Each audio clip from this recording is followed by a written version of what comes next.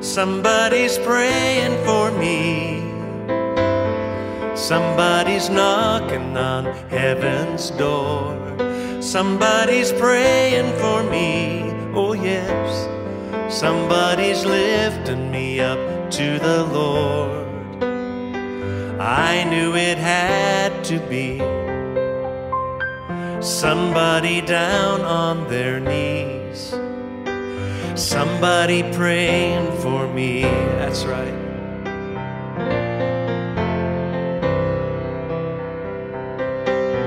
Well, I've been spared by so many prayers. How many times I could not say what a difference a prayer can make when it's offered up in faith. God has always made a way, yes, He has.